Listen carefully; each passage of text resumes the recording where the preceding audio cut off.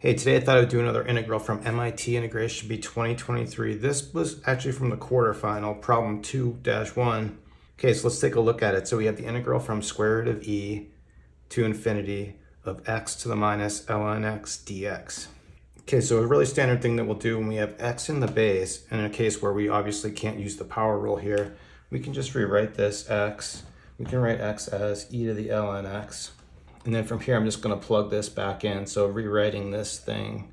So we'll write in here our e to the ln x, but then notice we're raising it essentially to this minus ln x. So if I just by exponent rules multiply the exponents, we can write this as minus ln x squared.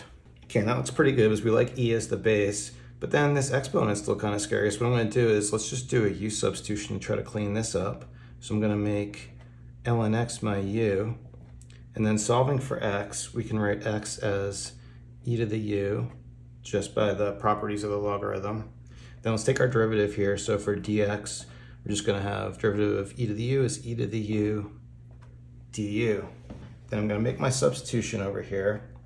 Now I'm gonna plug in, let's plug in infinity here. Natural log of infinity is still infinity.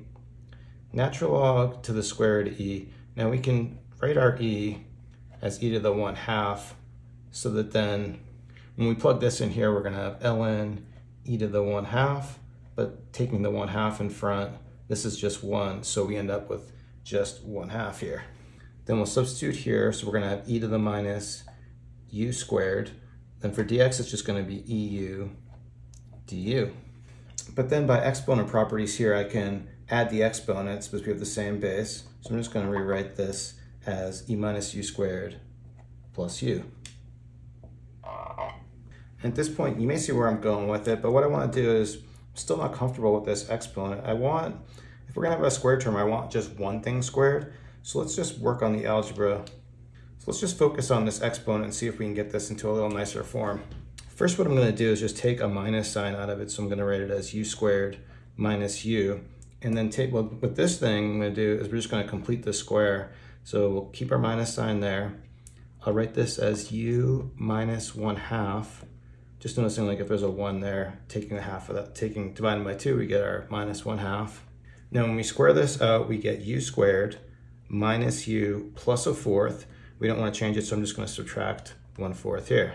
Then I'm going to just distribute our minus sign back in to clean it up. So we're going to have minus u minus one half squared, and then this is going to become a plus one fourth. So now we're going to just take that and put it back into our integral and see what we have.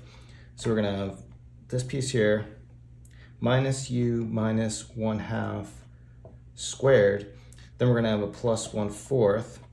But what I want to do is, just notice this is the same as multiplying by e to the 1 fourth. So what I can do is take e to the 1 fourth and bring it up front and just remove this piece right here. Then one last move to clean up this exponent. Still don't quite like it. What we can do though is we'll just make a t substitution. I'm gonna call my t equal to this whole thing, u minus 1 half then taking our derivative dt is going to be equal to du. So we'll make this substitution real quick. Now plugging infinity in here for u, infinity minus half is still infinity. Plugging a half in, half minus half, now our bounds are zero. Then again, this piece is just going to be t, and we're going to have e minus t squared dt. And that's very nice. You may recognize this piece. This is actually the Gaussian integral. So this value, actually, this is a known value. We're just gonna plug that in. We know the value for this is square root of pi over two. And so now just combining it with what we have in front here, we're gonna have e to the one fourth times square root of pi over two. In the answer key, they wrote this a little differently. I don't know, I kind of like it this way, but the way they do it is they write this as a fourth root e pi squared all over two. Anyway, thought it was a great problem today, so we'll stop it there. Thanks everyone for watching. Have a great day.